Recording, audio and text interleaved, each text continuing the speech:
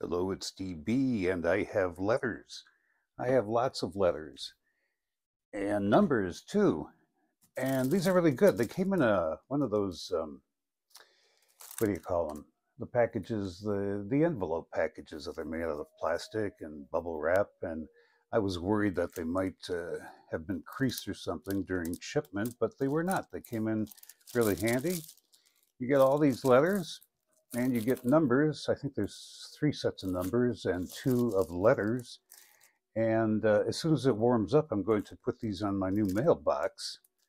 So I won't show you what they look like on the mailbox, but I can show you that uh, they are reflective. You might not be able to tell on camera here, but it's it's worth a try. You can see if the headlights are coming down the street. Pe people are going to see that at night. And of course, during the day, you don't need the reflectiveness, but uh, I think these will work out just fine. I have a black mailbox, so uh, I think these will stick out nicely. And I hope this helps you decide.